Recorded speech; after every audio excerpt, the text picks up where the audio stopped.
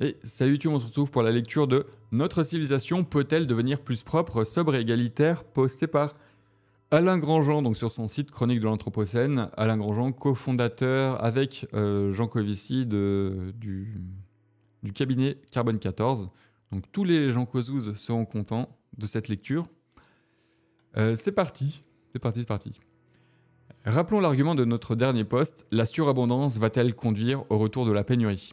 Nous sommes face à une grande bifurcation. Soit nous prolongeons nos trajectoires de développement actuelles et nous provoquons une pénurie physique de ressources naturelles, une destruction massive des écosystèmes, dans un climat déstabilisé et déstabilisant. Des inégalités massives en résulteront, les plus riches ou les plus puissants s'en sortiront, au moins dans un premier temps, les plus défavorisés connaîtront des difficultés matérielles croissantes, souvent létales. Voilà, ça c'est le constat euh, classique. Soit nous acceptons de changer radicalement, d'inventer, de faire vivre de nouveaux modèles et nous nous mobilisons pour y arriver. Il s'agit alors de faire en sorte collectivement que ces nouveaux modèles soient compatibles avec les limites planétaires. Ce que je vous disais euh, dans une autre vidéo pour YouTube et tout à l'heure pour euh, Twitch. si vous proposez l'anticapitalisme, ok, mais il faut prévoir quelque chose derrière. Par nécessité, ces nouveaux modèles seront sobres en, et en ressources et bas carbone et viseront à ce que chacun ait en suffisance. Dès lors, ils intégreront nécessairement les questions d'équité dès leur conception. Je tente ici de montrer que le deuxième scénario, apparemment le plus improbable, comme je l'ai écrit dans le poste précédent, peut se réaliser et même va se réaliser pour autant que nous nous y attelions avec ardeur et ambition, chacun à sa place avec ses moyens, mais avec conviction et confiance, et tous ensemble. Cette affirmation peut sembler osée, voire insensée, tant l'histoire humaine semble n'être que bruits et fureurs, en écho au roman dystopique de William Faulkner, Le bruit et fureur. Les horreurs civiles et militaires, les guerres à répétition, la brutalité des régimes autoritaires, des régressions parfois spectaculaires, la culture nazie et ses horreurs sont imposées rapidement à un peuple civilisé, semblent en faire une copie du mythe de Sisyphe. Le mythe de hein, le, bonhomme qui pousse sa pierre toute sa vie. Plus récemment, euh, la guerre militaire et économique euh, mène Vladimir, Poutine à l'Ukraine et l'Union européenne. Il risque qu'elle dégénère en un troisième conflit mondial est bien représentatif de ce caractère chaotique et parfois régressif de l'histoire en marche. Peut-on croire que cette histoire est quand même aussi une perpétuelle montée vers le plus humain qui se fait par étapes, acquisition, innovation et capitalisation des acquisitions antérieures? C'est vrai que ça c'est intéressant. C'est-à-dire, est-ce que finalement, ok, ça va s'effondrer, mais mettons l'humain, il s'en sort. Est-ce que finalement, l'humain du futur, qui sera pas encore, enfin, mieux, plus, plus, plus mature, en quelque sorte À voir. Le petit 1, le progrès, une idée dépassée. Né avec la philosophie des Lumières, l'idée du progrès humain était particulièrement importante au XIXe siècle. Son sens moderne, le, progrès temporel au caractère cumulatif, est attribué à euh, Bacon ou Bacon, je sais pas. Elle est au cœur de la philosophie des Lumières, ou Bacon. Ce progrès consiste en une transformation de l'esprit humain, l'humanité étant considérée comme perfectible et de l'organisation de la société. Cette idée a été très portée au XIXe siècle. Ainsi, Auguste Comte, l'inventeur et le pape de la religion positiviste, divisait l'histoire humaine en trois âges l'âge théologique où règne le surnaturel, l'âge métaphysique où domine la réflexion abstraite et qui voit peu à peu s'illuminer l'aspect divin des choses, l'âge positif qui voit la société renoncer à spéculer sur l'absolu pour s'en concentrer sur ce qui est indémontrable, par exemple les vérités scientifiques. Donc ça c'est Comte en 1839. La notion de progrès était centrale dans le monde scientifique, perçu comme la pointe avancée de la civilisation, la sortant de l'obscurantisme et faisant éclore le règne de la raison. Elle motivait aussi les actions sociales et politiques qui visaient à plus d'humanité dans les rapports sociaux et imprégnaient par exemple la philosophie politique de Montesquieu, sa conception de la démocratie et sa théorie des trois pouvoirs. Elle reste présente aujourd'hui chez certains, croyant ardemment en la science et la technique qui seraient capables de résoudre nos problèmes, y compris ceux qu'elles ont contribué à créer.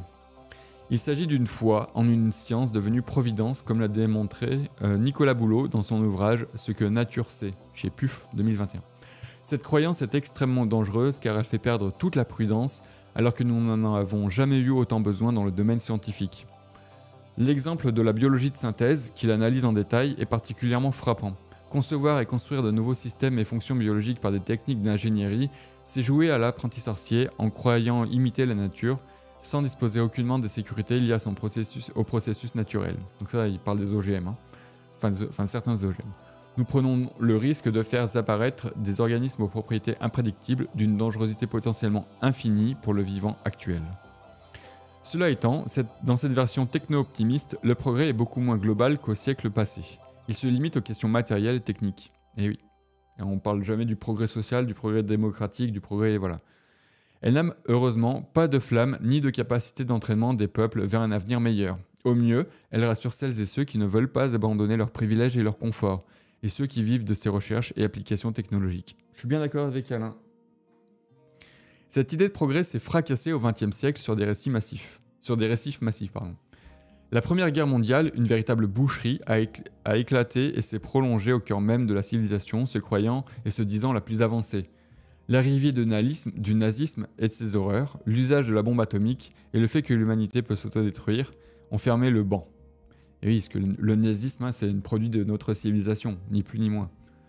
La suite de l'histoire n'est guère plus encourageante. La capacité des États-Unis, nation dominante à confondre le bien et ses propres intérêts, et l'axe du mal avec ses adversaires, ne laisse que peu de crédibilité à une lecture bienveillante des conflits militaires qui ont suivi la Deuxième Guerre mondiale. Et ouais. Petit 2, deuxième récif, les travaux des historiens ont montré la brutalité de la civilisation européenne vis-à-vis des autres peuples, que, ce soit l'esclavage organisé des Africains, les exactions contre les Amérindiens, la colonisation ou la guerre de l'opium. Ils ont démystifié le récit selon lequel l'Europe avait apporté la civilisation au monde et montré que la croyance dans le progrès dissimulait un appétit de puissance et un sentiment de supériorité. Les peuples premiers étaient vus évidemment comme inférieurs, tout comme les civilisations et cultures moins avancées que l'européenne à l'aune évidemment, évidemment des valeurs européennes et de la notion de progrès en vogue alors. Et si la culture européenne se considérait comme à la pointe de l'humanité, ces turiféraires n'en méprisaient pas moins les classes sociales qui est considérées comme inférieures. Toujours en train d'établir des rapports de domination. Toujours, toujours. Troisième récif, la prétention plus récente de la Chine à incarner une nouvelle civilisation écologique fait frémir. Le caractère dictatorial de ce régime ne fait aucun doute, tout comme sa capacité à réprimer violemment la moindre contestation, et plus généralement à empêcher les individus de s'exprimer ou de faire preuve de créativité, si cette dernière n'est pas dans la ligne du parti. Que ce pays puisse contribuer par ses investissements colossaux à faire émerger à la bonne échelle les indispensables technologies bas carbone ne fait guère de doute. Qu'il prétende incarner un projet de civilisation positif est une sinistre, plaisanterie, qui fait profondément douter de la notion du sens de l'histoire. Oui, je vous rappelle, hein, la Chine, en plus d'être un régime dictatorial, est le premier consommateur de charbon et ouvre des, centrales à charbon euh, en mode no limite hein, en ce moment. 4. La culture no limite, quatrième récif, est la généralisation mondiale d'un modèle économique et social prédateur qui flatte nos appétits les plus primaires et détruit le socle naturel sur lequel il est construit. Donne plutôt à penser qu'une gigantesque régression s'est produite depuis 1950 Comment considérer qu'Homo economicus étant quoi que ce soit plus évolué que le paysan du Nanube, qui savait se contenter du fruit de sa terre et de son travail? Bonne question. Cinquième récif, euh, selon la théorie de l'évolution biologique initiée par Charles Darwin au XIXe siècle, l'histoire de la vie n'est pas mue par une quelconque force ascendante ou par la volonté de Dieu. N'est-ce pas euh, à plein de gens Mais je pense. Bref. Mais pour faire simple, par le jeu du hasard et de la sélection naturelle. La représentation enseignée actuellement dans l'histoire de la vie et de celle de l'humanité ressemble à un immense écheveau indémêlable ne faisant pas apparaître de sens d'ensemble qui pour les scientifiques s'apparenterait à du finalisme, notion contraire au déterminisme sous-jacent au raisonnement scientifique. Le positivisme d'Auguste Comte ne pouvait d'ailleurs résister au sein de la communauté scientifique. Les biologistes évolutionnistes contemporains s'attachent à repérer toute tentative de donner un sens à l'évolution et à l'assimiler à un relent de créationnisme ou de religion masquée. Donner un sens à l'histoire humaine est encore plus tabou et par ailleurs impossible si on adopte une démarche trop micro qui se perd dans des détails. Ce le sens de tout phénomène ne peut se voir qu'en prenant du recul et de la hauteur, tout comme une image ne peut s'interpréter sans prise de distance Vouloir en voir chaque pixel la rend incompressible. Ça, c'est pour les geeks, ça. Les travaux d'anthropologie au XXe siècle ont été très marqués par le besoin de tourner la page de l'ethnocentrisme régnant en Europe au XXIe siècle. Claude Lévi-Strauss, comme on retrouve, a beaucoup œuvré pour que cette discipline se départisse de la subjectivité du regard de l'anthropologue, et ce fut une grande réussite intellectuelle. Nous ne regardons plus les peuples premiers comme des barbares incultes, mais comme ayant construit des civilisations qui n'ont ni nos valeurs, ni notre conception du monde. Dès lors, prétendre qu'ils seraient moins évolués que nous, car arriver plus tôt sur cette planète est devenu inacceptable. Paradoxalement, cette grande réussite alimente le propos que nous allons développer ci-après. Ces travaux ont accru notre propre conscience de l'humain en nous et autour de nous. Bon, ça c'est vraiment, voilà, c'est le premier paragraphe, euh, le, pro le idée est dépassée. Ça donne vraiment euh, peu d'espoir pour l'instant. Je sais pas ce que vous en pensez. Heureusement, il y a un deuxième paragraphe. Reconsidérer le progrès. Bah ouais. Face à la bifurcation qui est devant nous, il est nécessaire de reconsidérer la question du progrès et du sens de la vie. Si en effet on reste persuadé que l'histoire humaine, comme celle de la vie, n'a ni queue ni tête, qu'elle est soumise uniquement à la sélection naturelle ou à la loi du plus fort, alors on peut considérer que le premier scénario va arriver inéluctablement, sauf coup de chance extraordinaire, sur lequel aucune prise n'est concevable. Je suis bien d'accord. Est-il alors bien utile de se battre pour une cause perdue d'avance? Certes, l'énergie du désespoir peut alimenter quelques bonnes volontés, mais certainement pas l'ensemble de toutes celles et ceux qui peuvent agir pour que se réalise le deuxième scénario. Mais si l'on discerne un sens dans l'histoire de la vie de l'humanité, alors la question de la bifurcation devant laquelle nous, nous trouvons se pose en d'autres termes. Tenter de discerner un sens dans l'histoire humaine, c'est forcément se mettre en position de surplomb, et pour éviter l'écueil ethnocentriste, bien distinguer la vision de ce progrès d'une quelconque supériorité de celui qui la discerne. Le paradoxe évident de la proposition européocentriste du 19e siècle, c'était que les Européens manifestaient une violence dans leurs actes incompatibles avec l'idée du progrès et les valeurs qu'ils défendaient. C'est aussi bien voir qu'un progrès éventuel de la conscience humaine ne peut naître que, de motivations internes, communes à tous les hommes, dont certains ont manifesté des qualités humaines exceptionnelles, et ce à toutes les époques. La bonté et l'amour n'ont évidemment pas attendu aujourd'hui pour se vivre et s'extérioriser, comme le démontre Jacques Lecomte dans son livre Livre La bonté humaine, 2012, Odile Jacob. La bonté est par ailleurs beaucoup plus présente en l'être humain que la représentation qui en est faite généralement. Et le rapport à la nature pour les peuples premiers est d'une certaine manière plus évolué que la nôtre et nous donne la voie à suivre. Enfin, bien évidemment, à chaque époque, les êtres humains en chair et en os ne sont pas tous habités par la même qualité ou ampleur de conscience. Est-ce, pour une raison simple? La conscience ne se transmet que par l'éducation et la culture. C'est aussi une des raisons pour lesquelles l'adhésion à la thèse du progrès de la conscience humaine est si difficile. Avoir la bêtise, la cruauté ou l'égoïsme de certains de nos contemporains, il est, évident qu'ils ne pourraient en aucun cas être considérés comme plus humains que les artistes peintres de Lascaux. Je suis bien d'accord. 3. Les progrès de la conscience humaine. Une fois ces précautions prises, on peut en tenter un survol des progrès manifestes réalisés par l'espèce humaine au plan de la conscience au sens de la qualité d'un être conscient. Voici quelques-uns des sauts de conscience qui ont été faits par l'espèce humaine depuis 400 000 ans. Il ne s'agit que d'une évocation et non pas d'une démonstration qui nécessiterait des développements bien plus importants. Ils ne sont pas présentés par ordre d'importance ou d'apparition dans l'histoire. La fin de l'anthropophagie et des sacrifices humains. Sacrifices humains. La brutalité de la nature brute nous choquerait si nous y projetions nos sentiments, le monde des bactéries, est celui de destruction massive. Les batraciens et poissons pondent des milliers d'œufs pour un succès très faible en taux de naissance. Les individus semblent en permanence ne compter pour rien face aux enjeux de leur espèce ou de l'évolution. Les sacrifices individuels sont la loi pour les fourmis et pour l'immense majorité des espèces vivantes. À l'apparition des mammifères, la relation entre la mère et l'enfant qu'elle a porté change de nature. Progressivement, la transmission culturelle prend sa place dans les mécanismes de l'évolution. Il faut attendre l'arrivée des humains pour que se découvre l'amour conscient de lui-même. Mais pendant des millénaires, l'humanité va procéder à des sacrifices humains pour s'attirer les faveurs des dieux ou des esprits. Cette pratique, vécue comme vitale dans plusieurs civilisations et sacralisée, disparaît pourtant, progressivement ou brutalement, comme dans les civilisations sud-américaines avec leur extinction. L'invention du bien et du mal. Un être préconscient ou faiblement conscient, comme l'étaient nécessairement les premiers hommes, ne peut distinguer le bien du mal. Le lion dévore sa proie sans émotion morale. Il se nourrit et son instinct lui dicte largement sa conduite. Homo sapiens était dès l'origine un prédateur brutal qui tue sans intention de faire du mal, donc il n'est pas, conscient.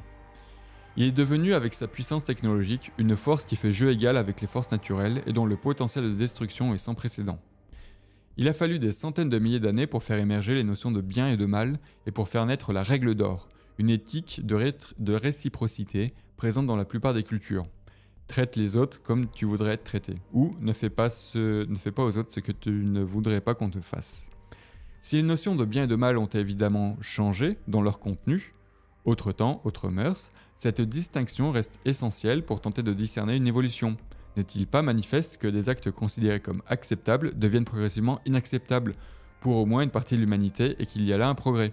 Nous venons d'évoquer le cas de l'anthropophagie des sacrifices humains, nous allons en voir quelques, autres par la suite. Bah oui, vous avez euh, l'antispécisme, euh, le véganisme notamment. Après, vous avez tout ce qui est euh, l'anti-impérialisme, plein de choses à notre époque. Euh, l'abolition de l'esclavage. L'esclavage n'est pas encore éradiqué dans le monde. Pour autant, l'abolition de l'esclavage peut être considérée comme acquise dans nos consciences. Les systèmes de valeurs et de pouvoirs actuels, dans les pays raisonnablement démocratiques, sont globalement incompatibles avec un retour de l'esclavage officiel. Certes, les régimes totalitaires ne s'en privent pas, comme le fait la Chine avec les Ouïghours, mais ce constat ne contredit pas nos propos. L'émergence progressive de cette abolition n'a rien d'une promenade de santé. L'esclavage est en effet très ancien. Il existe avant l'homme et s'observe chez les fourmis, où l'on a même observé des révoltes d'esclaves. Ah ouais? L'esclavage existe à l'époque antique. Il est mentionné dans toutes les premières traces écrites, comme le code d'Amourabi et d'autres écrits analysés comme des transcriptions d'histoire orale. L'ampleur impressionnante de certains vestiges, pyramides, monuments, digues, etc., donne à penser que l'esclavage y était bien présent. Si on trouve historiquement des exemples ponctuels et localisés d'affranchissement des esclaves, l'interdiction légale de l'esclavage, étendue à toutes les, catégories de population, reste rare jusqu'à l'époque contemporaine.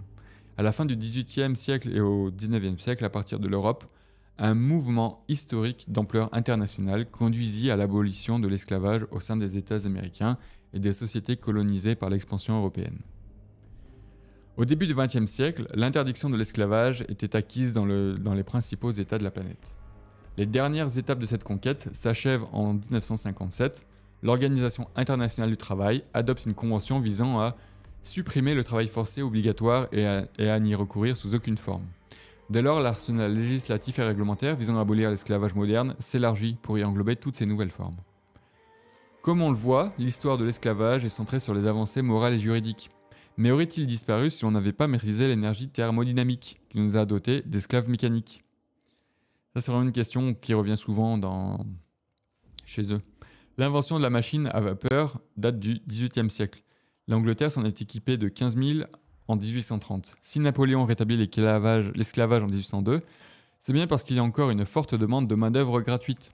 On se souvient de l'argumentation ironique de Montesquieu le sucre serait trop cher si l'on ne faisait pas travailler la plante qui le produit par des esclaves. Sans les progrès de productivité considérables parmi les machines, il est douteux que les sociétés aient si facilement aboli le recours à une organisation violente, mais nécessaire pour assurer le niveau de vie des dominants et leurs affiliés. Il est donc clair que la dynamique abolitionniste a été jusqu'à son terme grâce à la maîtrise des énergies fossiles.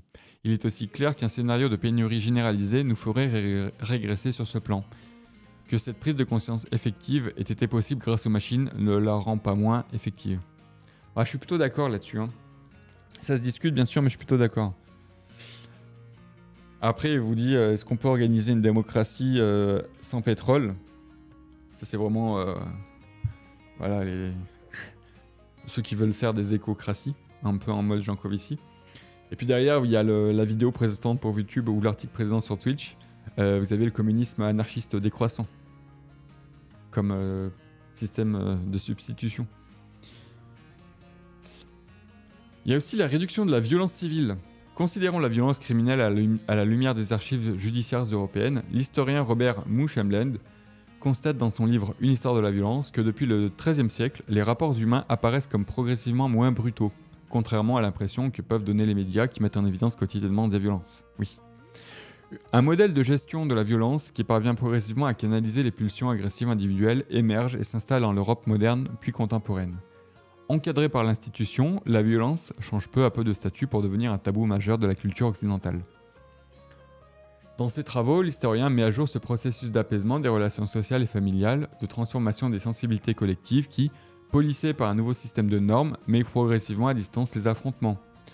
Comme dit plus haut, ce constat ne signifie pas que les hommes sont devenus capables, incapables de violence, militaire en particulier, et même civile si les conditions, par exemple, le retour de la pénurie, la rendent fatale si ce n'est légitime. L'émergence de l'individu, puis des droits universels de l'homme. L'animal n'est pas conscient, la conscience est le phénomène humain, pour reprendre l'expression de Pierre Teilhard de Chardin. Cette conscience émerge chez les mammifères à la suite d'un long processus biologique de croissance de l'encéphalisation, lui-même suit un profond mouvement d'autonomisation des organismes vivants. Mais cette conscience ne naît pas dans toute son ampleur dès l'origine, ou elle n'est que potentielle. Prendre conscience de quelque chose, c'est cesser d'en être conscient. Attends, ah non, d'en être inconscient, oui, L'enfant grandit intérieurement par de multiples prises de conscience relatives à son corps et aux fonctions internes qu'il apprend à maîtriser, relatives à sa relation avec sa mère, puis aux autres, etc. Chaque acquisition est irréversible, sauf lésions cérébrales ou autres pathologies. Il en est de même pour l'humanité dans son ensemble. Cette conscience s'élargit encore grâce aux outils et instruments qui prolongent notre perception. En particulier, avoir vu la Terre complètement éclairée grâce à la très célèbre photo de la bille bleue prise en 72 par l'équipage d'Apollo 17 lors de son voyage vers la Lune n'est en rien une anecdote. Cette image a participé à l'élargissement de notre conscience en mettant en évidence la finitude de notre planète et la fragilité de l'humain au sein de l'univers. La place de l'individu dans la société a connu une évolution en profondeur grâce à un processus multimillénaire d'individuation. À l'exception des puissants, l'individu n'a pas vraiment d'existence sociale pendant des millénaires. Les pyramides égyptiennes sont une image parlante de la place relative dans la vie et de la mort des pharaons dans la société. Ils étaient pour ainsi dire les seuls à exister. Dit Et seul moi peut maîtriser l'univers. Tout à fait. C'est Flash, hein, le maître de l'univers. Sur un autre plan, celui de la création, ce n'est qu'à la Renaissance que les artistes commencent à signer leurs œuvres. On peut penser que c'est la conséquence lointaine de l'apport du christianisme pour qui les êtres humains sont à l'image de Dieu, ce qui, en contrepoint, a conduit le monde chrétien, sauf exception, à dévaloriser le monde vivant non humain. La Déclaration des droits de l'homme et du citoyen est une invention proprement révolutionnaire. Elle était totalement inconcevable par les tenants de l'Ancien Régime en France et ailleurs, qui ne voyaient pas dans leurs serviteurs des semblables, dont la misogynie était aussi généralisée qu'inconsciente, qui se demandaient si les Noirs avaient une âme. On se souvient de la célèbre controverse de Valladolid, et pratiquer l'esclavage et le servage sans difficulté. Comme pour l'esclavage, la généralisation de ces droits s'est faite au XXe siècle, avec son adoption en 1948 par l'Organisation des Nations Unies, même si elle n'est évidemment pas respectée partout dans le monde. Insistant sur le fait que l'idée de l'égalité des droits de chaque humain a émergé et s'est généralisée dans la conscience humaine. Sans doute peut-on discerner des prémices dans la naissance de la démocratie grecque et dans les débuts du christianisme. Mais on est alors très loin de la moindre diffusion de l'idée d'égalité dans les consciences humaines. Que la Déclaration des droits de l'homme se situe sur le plan juridique n'enlève en rien, n'enlève rien, au contraire, à sa portée en termes de conscience. La conscience humaine s'élargit aussi en comprenant qu'il est nécessaire d'aligner les institutions et le droit avec l'idée morale. Certes, il existe de nombreux pays où l'égalité des droits n'est pas inscrite formellement dans des textes juridiques, voire pas diffusée dans la culture et donc la conscience humaine. Il n'en reste pas moins que cette idée s'est installée et précisément permet par de nombreux moyens de prendre conscience de cette situation et mobilise des peuples entiers pour conquérir ses droits. En Chine, Xi Jinping prend des distances par rapport à la Déclaration des droits de l'homme en théorie et surtout en pratique, en les justifiant par la sortie de la misère de centaines de millions de Chinois et par une priorité donnée au développement. Il est certes extrêmement puissant et semble vouloir imposer ses valeurs au monde entier. Cela peut rendre pessimiste sur notre avenir, mais comme dit plus haut, l'histoire de la vie et celle des hommes ne sont pas de longs fleuves tranquilles. La fascination pour la puissance ne doit pas nous faire oublier que les empires ne sont pas éternels. Et oui, n'est-ce pas les USA, hein, n'est-ce pas? La naissance et le développement de la démocratie. Même si la démocratie n'est que, le, que le pire des régimes à l'exception de tous les autres, Ça, c'est Churchill, bien sûr. Le déploiement de ce mode de gouvernement dans le monde est un indicateur de progrès pas seulement juridique, mais aussi au plan de la conscience humaine. Le nombre de démocraties a significativement progressé depuis 1945. Aujourd'hui, selon les méthodologies, on en dénombre entre 75 et 98 sur 195 États reconnus. Certes, on constate aussi plus récemment un affaiblissement des démocraties et une montée des régimes autoritaires, qui n'est pas sans rapport avec les crises écologiques et sociales en cours. Il n'y a clairement pas de loi historique qui ferait croître linéairement ce mode d'organisation politique et sociale. Et comme on l'a vu, le, scénario d'effondrement, fatal en cas de poursuite de notre mode de développement, conduirait au contraire à l'effondrement de la démocratie. Mais nous avons expérimenté la démocratie à grande échelle et cette expérience est inscrite irréversiblement dans nos mémoires. C'est vrai. C'est vrai, c'est vrai. Le refus de la fatalité de la douleur. Avec la naissance et les progrès fulgurants de la médecine et de l'hygiène, le rapport au corps s'est transformé. Michel Serres nous a rappelé à quel point la douleur pouvait être, pour nos ancêtres, une expérience inévitable et quotidienne, à quel point le corps pouvait être marqué par les maladies, et pour finir que l'âge moyen de décès, inférieur à 40 ans jusqu'au 19e siècle, rendait la mort proche, voire quotidienne. Nous ne l'avons pas vaincu, malgré les rêves délirants des transhumanistes, mais nous avons appris à ne pas en faire une fatalité à tout âge, et que nous pouvions la mettre à distance, tout comme la douleur et la maladie. En particulier, la douleur n'est plus vue comme une fatalité, également dans les accouchements, ni comme signe utile dans l'exercice de la médecine. Le rapport aux animaux et à la nature. Les, les, peuples premiers ont été obligés d'apprendre à composer avec les forces naturelles pour ne pas être broyés par elles, comme l'a démontré l'anthropologue Philippe Descola. Leur relation à la nature n'est pas du tout semblable à ce que fut généralement la nôtre depuis la révolution industrielle, et celle qui est également en train d'évoluer. Nous quittons progressivement une position d'extériorité pour comprendre que nous faisons partie de la nature. À partir de la sédentarisation et de l'invention de l'élevage et de l'agriculture, l'humanité a franchi une étape et réussi à sortir de cette soumission au dictat de la nature. Elle a réussi progressivement à mieux la comprendre, voire dans certaines situations à la dominer. Qu'on pense tout d'abord à la création d'habitats résistants à la pluie et aux intempéries, à la, canalisation des fleuves, mais aussi bien sûr à la médecine, à la compréhension des lois physiques, à la capacité à extraire, capter, transformer et utiliser différentes sources d'énergie, etc. Dans le domaine agricole, l'humain a transformé radicalement les processus naturels et sorti en partie de la famine par le développement des engrais, des pesticides et de la maîtrise des semences, sans même parler d'OGM et de l'élevage intensif. Cette étape s'achève par une prise de conscience progressive des destructions que nous faisons subir à notre environnement naturel, de notre responsabilité dans le changement climatique et du caractère fini de notre planète. La possibilité de détruire la nature la dévoile. Nous prenons conscience de notre appartenance à une espèce prédatrice en conflit avec le vivant, du risque de destruction du vivant et d'autodestruction de notre espèce, du fait de nos comportements et de notre puissance. Plus spécifiquement, nous prenons conscience, en étant plus informés par les travaux scientifiques en la matière, de la sensibilité animale et des souffrances qu'endurent les animaux dans une grande partie des élevages industriels puis dans les abattoirs. Plus récemment, de puissants mouvements s'opposent à l'alimentation carnée, à l'abattage en masse et visent à donner des droits nouveaux aux vivants et à la nature. Nous, entrons qu'à cas dans une troisième étape de reconnaissance des droits accordés aux êtres sensibles que sont les animaux, les plus généralement la nature, à la nature. Le, philosophe Michel Serres a plaidé il y a 30 ans pour l'établissement d'un contrat naturel.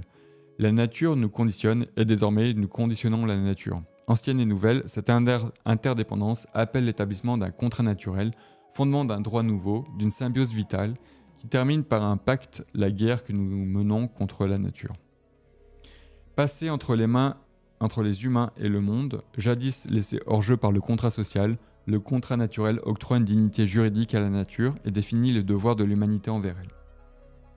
Les vifs débats sur la manière de créer ces nouveaux droits sont une preuve que le sujet est devenu majeur aujourd'hui.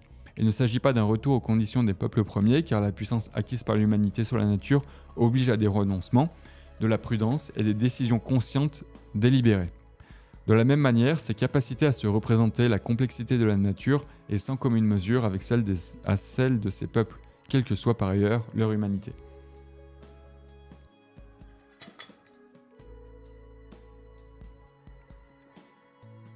Rapport homme-femme. Nos civilisations ont été et sont en large majorité encore à domination masculine. La reconnaissance par les hommes du caractère complètement infondé de leur prétention à se croire supérieur aux femmes est récente, mais à nouveau irréversible. Il en résulte la possible conquête de l'égalité des droits entre les hommes et les femmes, certes longue et loin d'être achevée. Mais ce mouvement est largement tamé, comme le montre par exemple la série d'études Les femmes, l'entreprise et le droit, publiée par la Banque mondiale et atteint des proportions jamais observées dans l'histoire humaine. Là aussi, le droit des institutions et de la conscience interagissent pour nourrir ce mouvement. Un petit humain qui naît maintenant peut accéder à cette conscience, soit grâce à son éducation, soit via les transferts d'informations rendus possibles par Internet. Certes, tout dépend de son lieu de naissance et de son accès à l'information. Mais si ceci n'était pas possible, sauf exception, il y a encore quelques siècles, pour la raison très simple que cette prise de conscience n'était pas faite. Conclusion. Nous venons d'illustrer par quelques exemples la montée de la conscience humaine, des libertés et des droits individuels, en bref, de l'humanisation de l'humanité, qui s'est réalisée tout au long de son histoire, pourtant émaillée de violences et de régressions politiques et sociales. Cette évolution prolonge celle de la vie, une inexorable montée de la complexité, de l'autonomie et de la socialisation des êtres vivants. L'évolution de la vie sur notre planète ne s'est pas faite de manière linéaire. Des extinctions massives ont eu lieu, des accélérations fortes se sont parfois produites, comme l'explosion des formes du vivant au Cambrien. L'arbre de la vie est buissonnant, les mammifères ne sont pas les héritiers directs des dinosaures dont ils ont pris la place à la fin de l'ère tertiaire quand une météorite les a fait disparaître. Mais il est possible de discerner le sens profond de l'histoire humaine qui poursuit l'aventure biologique. C'est tout simplement l'humanisation. Processus encore inachevé et lui aussi arborescent. C'est la participation à cette aventure collective qui donne une énergie surhumaine à toutes celles et ceux qui se battent pour la poursuite. Même dans les conditions de vie les plus tragiques et même face à des pouvoirs apparemment inébranlables. La bifurcation actuelle va et doit nous conduire à abandonner les valeurs effectives de notre civilisation actuelle la culture, nos limites et ses rêves de puissance. Cela ne va ni se faire tout seul, par continuité, ni par un réformisme progressif, comme le suggère le chercheur Denis Dupré dans une conférence intitulée Du chaos, de l'amour et de l'insurrection. Nous sommes au pied du mur. Comment ne pas voir qu'il y a plus d'une seconde à perdre? Mais ne désespérons pas, face à l'ampleur de la tâche, ou en étant habité de la sensation d'être David face à Goliath, pour quelles raisons les forces d'humanisation à l'œuvre depuis des millénaires seraient-elles incapables de s'opposer aux artisans de l'apocalypse? Soyons certains au contraire que nous sommes en train de créer une nouvelle civilisation fondée sur une nouvelle conception de la nature dont nous devenons partie intégrante et des modèles sociaux et économiques sobres, circulaires, à l'image de l'organisation de la biosphère où chacun a sa juste part. Et oui. Voilà, c'est tout pour cet article YouTube. On se retrouve très bientôt pour une prochaine vidéo, toujours.